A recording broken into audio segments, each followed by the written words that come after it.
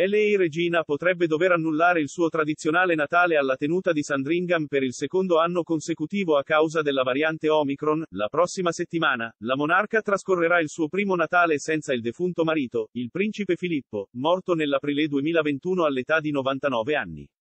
Mentre l'ondata della variante Omicron continua nel Regno Unito, la famiglia reale potrebbe scegliere di non incontrarsi a Norfolk in quanto era abituato prima del Covid-19.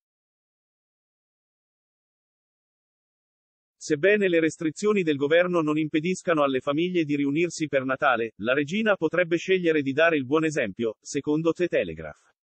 Una fonte ha detto al quotidiano che tutte le opzioni sono ancora allo studio per quanto riguarda i festeggiamenti. Secondo i dati ufficiali del governo, ieri sono 90.418 le nuove persone che hanno avuto un risultato positivo confermato al test, il che significa un aumento del 44,4% dei contagi rispetto ai sette giorni precedenti. Hanno aggiunto che uno scenario possibile sarebbe che la regina rimanga al castello di Windsor come ha fatto l'anno scorso, un'altra possibilità sarebbe un Natale in famiglia più piccolo nella tenuta di Norfolk, come al solito, ma senza i sostenitori invitati a radunarsi fuori Sandringham come da tradizione. La regina ha trascorso quasi ogni Natale della sua vita a Sandringham. Di solito vi rimane fino al 6 febbraio, anniversario della morte del padre.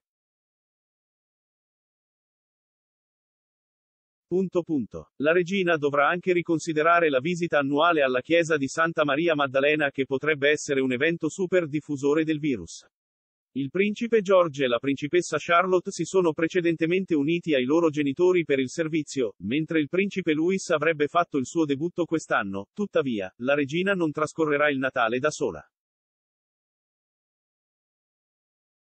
Molti dei suoi figli e nipoti hanno ridotto il loro contatto con altre persone e verranno sottoposti a test prima di unirsi a HM.